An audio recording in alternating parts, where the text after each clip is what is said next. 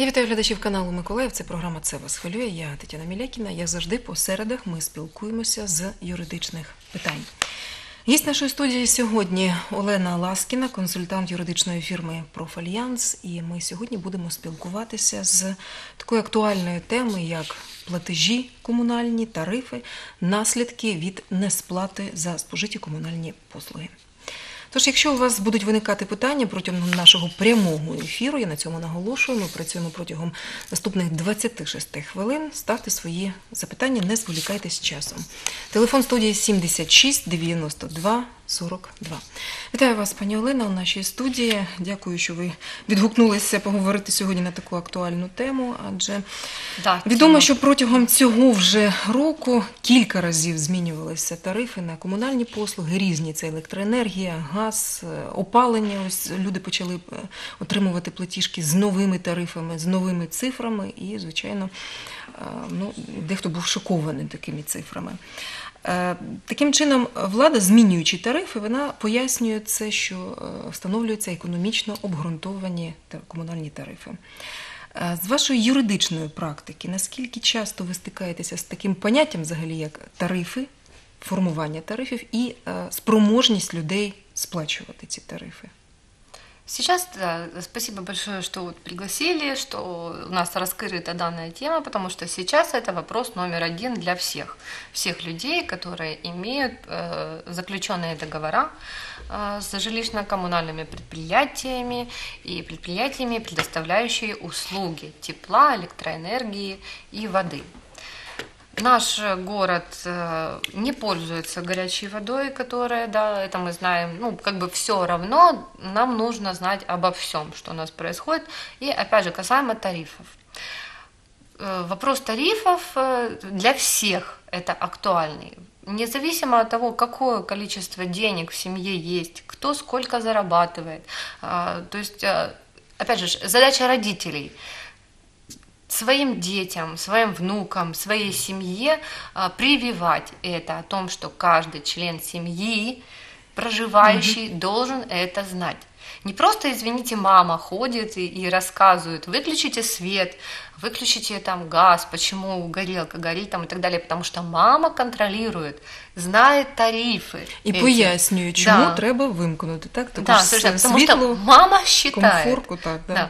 Но, а по итогу получается, когда идет вопрос оплаты, как сейчас стоит вопрос у всех, извините меня, на ушах, потому что дружно, получившие эти все счета, уже вся семья взялась за голову, и что же делать э, с данным этим счетом, куда его, извините меня, на какую полку поставить. Это, да, это вот, э, ну, честно, у нас уже вот вторую неделю, ну, как говорится, смеха со слезами, потому что массово идут обращения. Э, Что же делать? Почему, э, что мне делать с такой суммой? А, Как мне ее, может быть, мне ее не платить, вот опять же у людей, или же, может быть, мне как-то получить субсидию, или же, может быть, мне как-то сделать реструктуризацию, или где, в общем, итог, где взять деньги? А, вот сразу же и у меня также сама к людям вопрос. Люди, мы все прекрасно знаем, что есть зима. Мы все прекрасно знаем, она почему-то приходит внезапно, эта зима у всех. Да, мы все знали еще в начале этого года, что у нас э, грядет э, реструктуризация и переход э, на более европейские стандарты. Мы это все знаем. Мы знаем то, что все будет повышаться.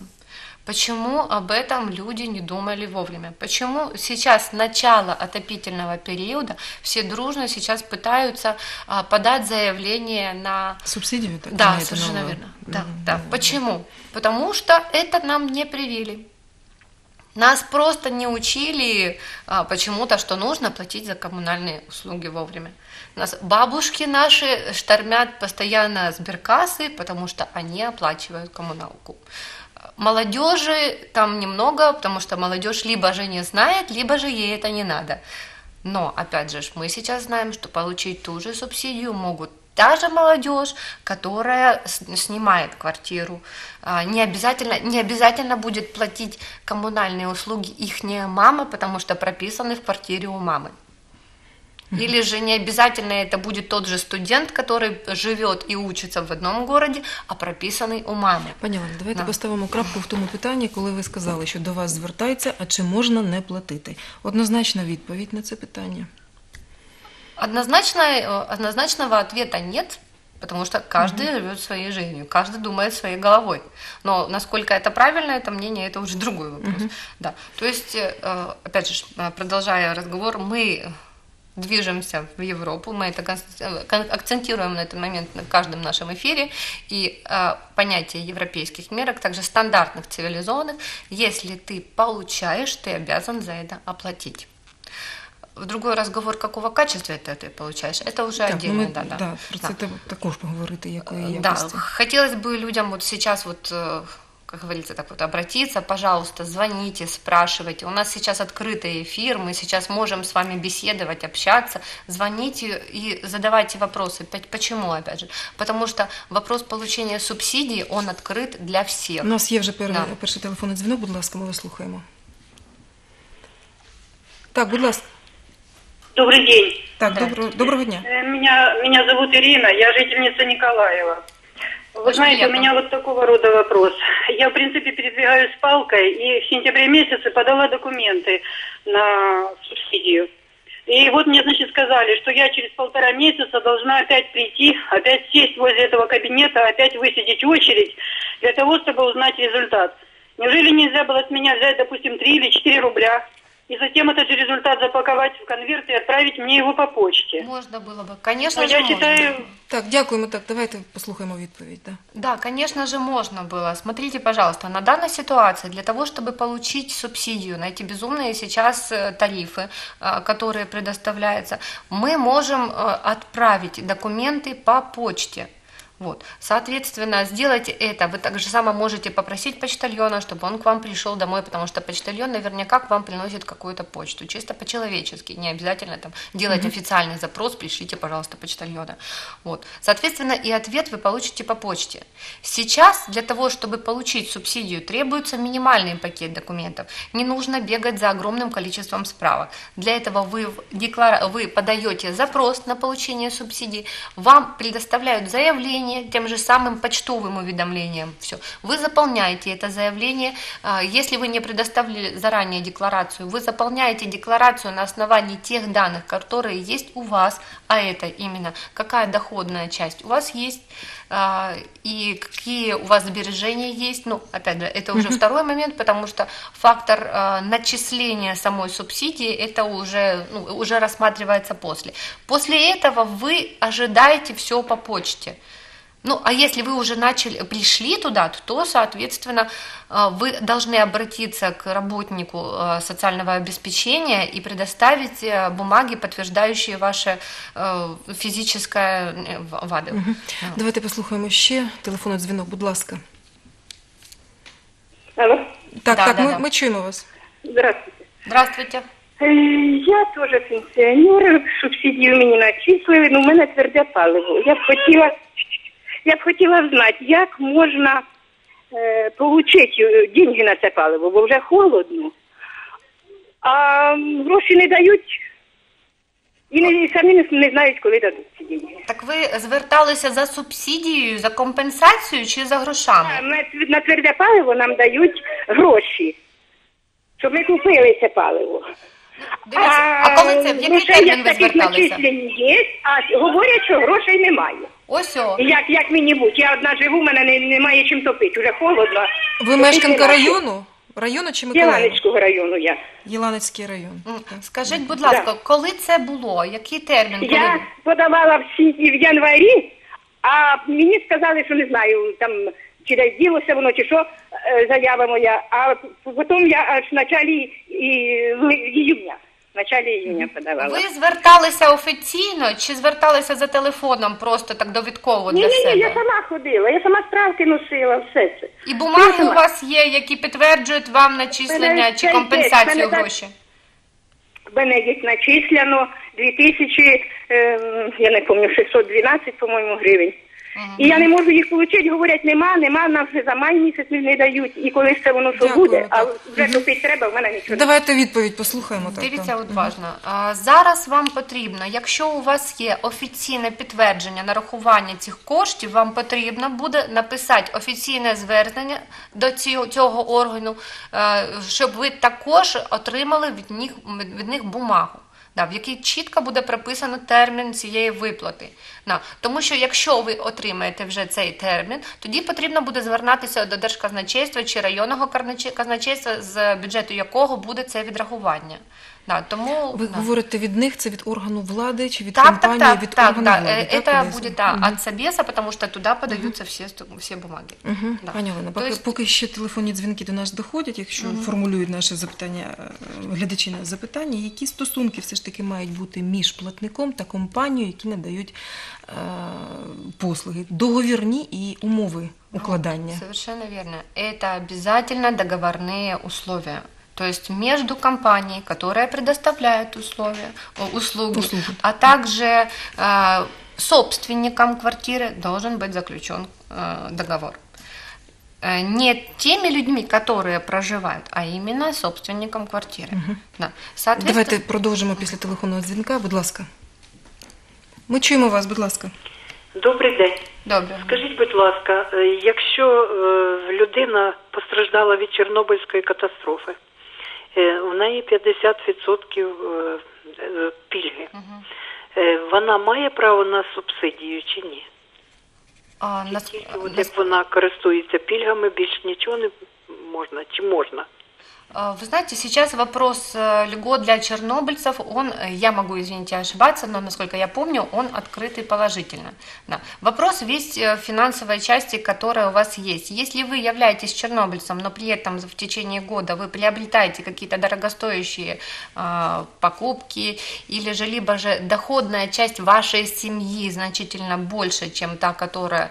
э, то есть вы имеете возможность, ваша семья, не вы конкретно, а ваша семья имеет возможность гасить э, коммунальные услуги, то, соответственно, вам э, льгота, не, точнее не льгота, а субсидия будет не назначена.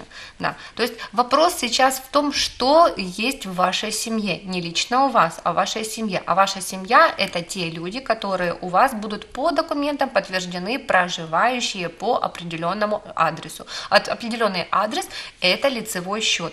На лицевом счете у вас есть э, жильцы, точнее, квадратные метры, соответственно, тарифы. Да. То есть э, говорить... Прописані жильці. Да, говорить о мешканці. том, что да, да, говорить о том, что будет ли субсидия вам или нет, я не могу вам сказать так вот сейчас четко, откровенно. Нужно подавать заявление и уточнять тогда по факту поданных документов, уже предоставленных заявлений, а соответственно уже социальное обеспечение, органы уже собирает всю информацию по поводу вас, вашего идентификационного кода, ваших же квадратных метров э, и, соответственно, доходах. В этом весь и вопрос. О доходах, которые вы получаете. 76 92 42, телефон прямого ефіру. Ви можете ще ставити свої запитання. Пані Олена, продовжуємо розмову про договірні стосунки. Як же вони все ж таки мають укладатися? А, Смотрите, э, есть договор, в котором прописаны тарифы. Есть жильцы, которые, м, точнее, есть лицевой счет, в котором прописано определенное количество людей. Да, То есть в чем загвоздка основная сейчас на данном этапе для тех людей, которые э, пытаются себе понизить оплату и подают либо же на субсидию, либо же на реструктуризацию, в том, что люди имеют от двух э, жильцов фактически проживают, под документов имеют 4, 5 и более человек. Это основное вот весь и суть вопроса, потому что как бы разница идет в этих людях, и дополнительно нужно собирать документы, подтверждающие, что люди находятся где-то. Да. Угу. Послухаємо ще телефонний дзвінок, будь ласка. Э, Здравствуйте. Здравствуйте. Будьте любезны, вот у меня вопрос. Два пенсионера, один из них инвалид второй группы. Субсидиями пользуемся. Э, Ну вот, по крайней мере, сейчас должны пользоваться. А вот вы говорили о покупках. А если есть кредит? А, Кредит – это не ваши личные сбережения, это Нет, деньги конечно. заимствованные. Вот. То есть, если То есть это, это не влияет, да? не влияет, Сергей, кредит вы его будете отдавать, и, и за это еще будете отдавать ваши личные деньги в виде процентов по кредиту. Соответственно, как бы в данной ситуации это не влияет на получение субсидии, да, так как это не ваши деньги. Да. это деньги банков, учреждений, либо же а, ну, либо там, где вы их получили. Да, за это не переживайте. Дякуємо. Да. 76 92 42, будь ласка, телефонуйте. Да. Е, Аби наші глядачі знали, да, давайте продовжимо розмову. Продолжим, про- да, да. То есть в этом весь и загвоздка, когда людей много прописано, а по сути они проживают в других местах. Что еще хотелось бы с людям сказать, чтобы люди не боялись? Да, сейчас много людей подают, потому что видят сейчас вот этот вот а, несоответствие уровня своего дохода и несоответственно счетов, потому что то, что, как говорится, обещанки и цыцянки, а, то, что нам говорили апрель-май, мы об этом не думали, когда случилось, мы об этом начинаем думать. Да, но есть срок рассмотрения всех запросов. Есть э, исполняющие люди, которым этим занимаются. Нужно подавать. Почему? Потому что когда накапливается сама задолженность, мы сегодня увидели, у нас есть счета по электроэнергии. Следующий месяц у нас получится счета по электроэнергии значительно большее количество.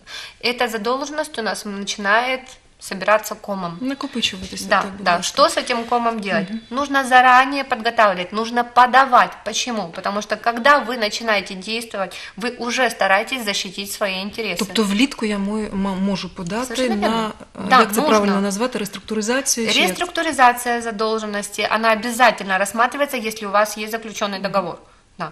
То есть э, не- я не говорю о кредитах, кредит это не всегда не особо хорошо, хотя другие страны имеют опыт э, получения кредита на погашение вот этих вот обязательств.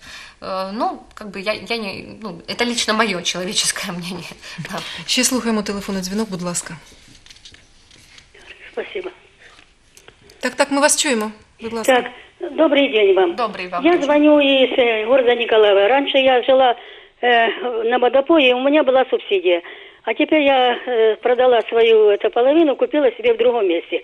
И э, оформила Извините, субсидию. пожалуйста, это в этом году было? В этом году, да, это было где-то в, в сентябре месяце. Вот. В этом году я оформила, дочка моя приехала и оформила мне субсидию. Но мне сразу там не давали и сказали, что вы, мол, э, вам придется год ждать, так как вы продали и это самое... Это и правильно вам сказали, да. А, а дело в том, что я за что продала, за то и купила. Я предоставила все документы э, на куплю-продажу, на, то есть на, на куплю-продажу и на, э, на то, что я продала. Все там, ну, у меня там даже 50 тысяч нету. А мне вот так. Ну, я подала обе- там, э, все документы. И на покуплю, и на по- куплю Да, да, я подала, да, все подала. Ну, э, сдали мы документы в конце сентября на субсидии здесь, в этом районе, в Корабельном, где я сейчас нахожусь, где я живу, прописано здесь все. Я одна на- получаю мизерную пенсию, э, вы сами понимаете, 1300. И вот э, там я, у меня было свое отопление, я могла там экономить, это могла включать, не включать, и я там тоже была субсидия, я там как-то выходила и выживала. А здесь я теперь не знаю. Я звоню Зрозуміло, сейчас так. туда. Ми маємо відповісти ще на ваше питання. Так, дякую. Смотрите, пожалуйста, если у вас э, сейчас есть предоставленные э, возможность предоставить, и вы уже предоставили эти все договора, которые говорят о том, что вы не просто получили дополнительный доход, но у вас это по каким-то вашим личным вопросам при- привело к тому, что вы этот, от дохода этого лишились в виде покупки чего-то, либо потому что у вас не было дополнительного жилья. Вот, вот в этом весь вопрос. Было ли дополнительное жилье или не было? Либо же вы просто занимаетесь, извините меня, перепродажами. Потому что как бы на вашем, э, на вашей идентификационном самом номере у вас может быть, извините меня, и 10 квартир. То есть, э, если у вас э, есть подтверждение, что, или и вы предоставили о том, что за вами числится только единое жилье с определенной или минимальной какой-то квадратурой, то ваша, ваша субсидия никуда не пропадет и будет пересчитана в зависимости от того, какой у вас получится уровень дохода на данный период. Если вы подаете заявление на субсидию, она пересчитывается, э, она предоставляется на 12 месяцев, и за это время у вас идут начисления, соответственно. Зрозуміло Е, Пані Олена, якщо проаналізувати, візьмемо таке питання, як судова практика, з- роз- розгляд в судах таких е, комунальних суперечок, який можна зробити висновок? Э, Вывод единственный, до этого лучше не доводить. Опять же, почему? Потому что когда уже воз- идет вопрос о суде, это значит сумма уже большая. Вот, то есть, Яка? Можна да. назвати цифри? От 14 тысяч гривен. Да, это то есть та цифра, когда мы уже достигли уже предела. Опять же, мы понимаем, 5 тысяч – это большие деньги, 2 тысячи – это большие деньги. Не надо делать так, чтобы это был снежный ком. Для того, чтобы его не было, нужно делать, действовать сейчас. Сейчас подать заявление на субсидию, либо же по почте, либо же через интернет. У нас у каждого сейчас, по-моему, в доме уже есть- интернет, кто находится в городской части. Да. Либо же у кого есть возможность прийти, он может прийти и это сделать. Подайте это, проявите то, что как бы у вас есть проблема, вам нужно ее начинать решать. Послухаємо ще телефонний дзвіночок, будь ласка. Добрый день. Здравствуйте. Скажите, пожалуйста, а почему надо ждать два месяца, чтобы узнать, дадут, не дадут субсидию? Ой, Дякую. Да, спасибо вам за актуальный очень вопрос, но этот э, ситуация необходима, так как очень большое количество обращений людей одновременно и просто физически никто не успевает и с ними справляться. Э, Скажу откровенно, я не сотрудник, но я понимаю, что э, я не сотрудник этих органов социального обеспечения, да, но я понимаю, что если есть навал вопросов, он будет рассматриваться, вам никто не будет в нем отказывать. Ваша задача как гражданина, как плательщика коммунальных услуг подать, подать запрос. Задача социальных органов обработать, предоставить вам ответ. Согласно ожиданию, это всегда плохо, но в данной ситуации для того, чтобы пересчитать, вы единственное, что можете сделать, это подать. Либо же на льготу, ой, извините меня, На а, субсидию. на субсидию, да, либо же на перерасчет, ну, это не выход, конечно, с положения, да, но, но это нужно сделать и ожидать. Два Спасибо. місяці це вимога закону прописана, так? Ну, вообще, как бы, да, вообще в течение 30 календарных, 10-30, но в зависимости от того, какой навал, э, знаете, тоже как бы столкнулась ситуация, что когда давался индивидуальный запрос по такому, вот такая же была ситуация, почему я должна ожидать, было такое. Мы а, официально дали запрос. Официально нам дали ответ, что в связи с техническими обстоятельствами имеют право производить до, там, допустим, 40 календарных дней. Да, то есть э, Пані Олена, а, практикують комунальні підприємства, яку- які надають послуги ті чи інші, таке, е, таку роботу, як з неплатниками податків, як відключення газу, світла. Чи є законні підстави для таких дій? Само отключение, оно предусматривается выписанием какой-то, ко- созданием какой-то комиссии, которая предоставляет э, соответственные балансы, э, распечатки, платежи, не платежи, и тогда на основании уже этой комиссии и производятся вот эти вот отключения. Но, опять же, отключение тогда действует согласно договора. В договоре должны быть описаны пункты, при каких обстоятельствах происходит отключение. Но, опять же, мы знаем, что существует такой момент, и опять, дела на практике говорят о том, что это даже сотрудники ЖЭКов просто приходят э, и занимаются самоуправством. Если вы видите такой факт, когда, когда у вас просто безо всяких бумаг, безо всякого на то а, ведома и, допустим, когда задолженность не превышает вот эту вот сумму критическую, и вы не получаете никаких официальных ни писем, ни запросов, ни приходов тоже, что не является особо официальным, но мы знаем, что сотрудники иногда приходят на адреса, и почему вы не платите, и вручают всякие бумаги. Бумагу лучше подписать. Когда подписанная бумага, вы можете на нее ответить. Но когда, извините меня, об- общим количеством, э, вы ничего не получаете, вы никак, никаких звонков, э, ни бумаг, и при этом у вас приходит отключать, то вы имеете полное право написать, во-первых, жалобу, а во-вторых, э, в принципе, обратиться в местные органы исполнительной власти. Судове рішення має бути для цього, для відключень. Судебное решение это уже по факту, когда уже вы получили, когда уже существует, закончился исполнительный процесс, точнее судебные процессы, и уже в судебном решении будет четко прописано, что э, либо же лицевой счет, либо же провести какие-то соответственные действия. Пані. Олено, ви знаєте, так у нас кілька хвилин, так хотілося б почути вашу експертну думку. Е, Я так готувалася, Думаю, читала. продовжимо, да. Так, Тема большая, ми тільки почали. Готувалася, і іноді там ну, в інтернеті, в статтях описують і юристи, і експерти, що люди, ви можете не платити. І пояснюють, чому саме не платити. Ваша думка з цього приводу. Изначально, да, я вот начала с этого, то, что как бы не платит тот, который не является особо социальным человеком. Так давайте, называется, зайдем в магазин, возьмем хлеб и за него не заплатим. Да, потому что а, почему повысили? Потому что это тот же товар. Почему раньше было низко? Потому что ранее этот товар нам давался по льготным ценам и компенсировался за счет других источников. Да? На то существовало официальные зарплаты, там всякие дотации и так далее. Это был наш бюджет. Так как мы знаем, что наш бюджет нестабилен, нам сейчас самим приходится этот товар, который мы покупаем, покупаем мы этот товар в виде тепла, в виде газа, мы обязаны за него заплатить. Поэтому людям нужно понимать, это товар, который мы приобретаем, и он должен быть оплатным. Поэтому платить или не платить, давайте тогда не будем ни за что платить. Я вам дякую.